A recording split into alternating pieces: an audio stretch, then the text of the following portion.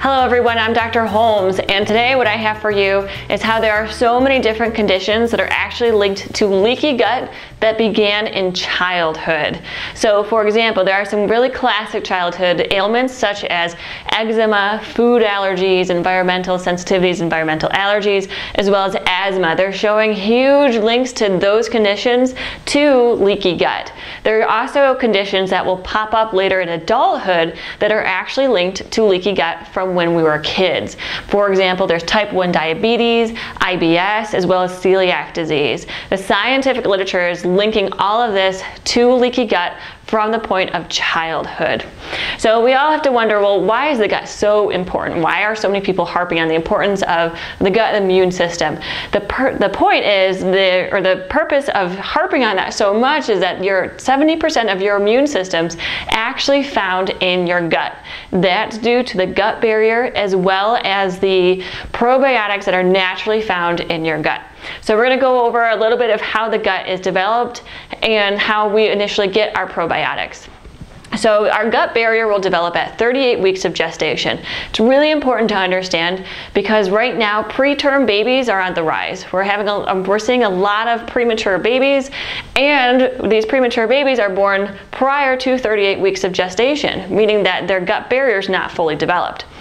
So what we usually do for these kids is we load them up on, on antibiotics and NSAIDs. The point being is that their immune system's not fully developed because that gut barrier is not fully developed. However, those are things that will actually, actually hinder gut barrier development from happening as well. So when we see preterm babies born before 38 weeks of gestation, we're actually seeing more chronic illnesses linked to preterm babies. So how do we get the probiotics? Uh, let's say you have a full-term baby and we still see a lot of these conditions popping up. It could be due to the probiotics or the good bacteria that's supposed to be living in their gut. How do they get that good bacteria? Through a vaginal birth as well as breastfeeding. So when kids are born vaginally, they'll actually swallow some of that bacteria from mom. That's how they get their initial set of, of, probiotics. The second time they're introduced is through breast milk. Breast milk is full of things that are so good for gut barrier development, so good to re reduce inflammation, to help with gut barrier development, the immune system to develop, and fights off potential infections and things of that sort. It will actually it will enhance the immune system for the rest of the child's life. So vaginal birth and breastfeeding are super important in this. However, I meet a lot of people who a vaginal birth simply wasn't possible or breastfeeding simply wasn't possible. There are still a lot of things that can be done to help kids who are popping up with these um, childhood ailments. So for example, probiotics. Probiotics are going to be fantastic, especially at a young age. There's some research that's showing that if you introduce probiotics after the age of two, they don't have simply the, the fantastic effect that they have before the age of two, but it's still highly recommended to get that good bacteria living there. That good bacteria is supposed to fight off infections it's supposed to help with breaking down your nutrients to absorb your food, and it does so, so much more for the, for the immune system. Some other things we can do also is if they are at a point where they can have some solid food, I would soak it in bone broth. It's in the literature that bone broth actually helps with gut barrier development. So what are some things that actually harm the gut barrier as well as the probiotics, or the good bacteria that's supposed to live there? NSAIDs.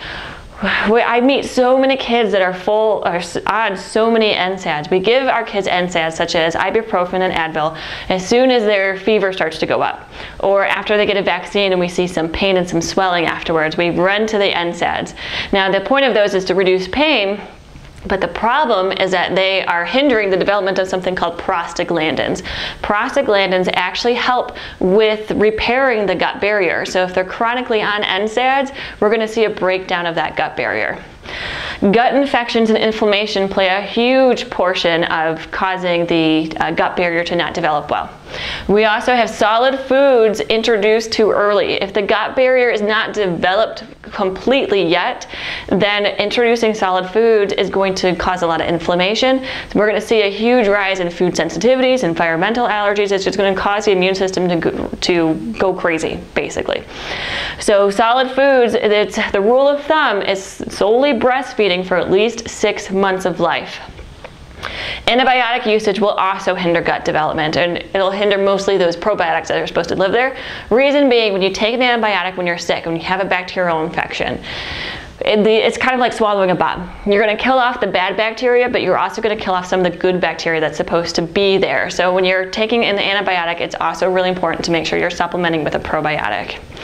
So that's your lesson for today about how a lot of adult illnesses, especially autoimmune conditions, and some of the classic childhood illnesses are linked to leaky gut. If you found this video interesting, I have lots more information like this on our website, ibrainandbody.com we're also hosting a purely whole, it's going to be about an hour's worth of information all for leaky gut on October 25th at 7.30 p.m. It's going to be on Facebook Live, so you get to watch right from, from home.